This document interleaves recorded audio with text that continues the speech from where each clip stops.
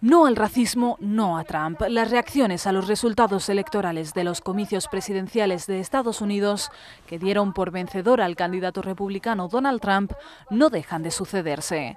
La última muestra de rechazo esta vez la protagonizaron hoy decenas de personas que acudieron a una manifestación antirracista ante la Embajada de Estados Unidos en Londres para protestar por la victoria del magnate. En la concentración, los manifestantes criticaron los arrebatos racistas en las declaraciones declaraciones del presidente electo, así como su promesa de construir un muro a lo largo de la frontera entre Estados Unidos y México.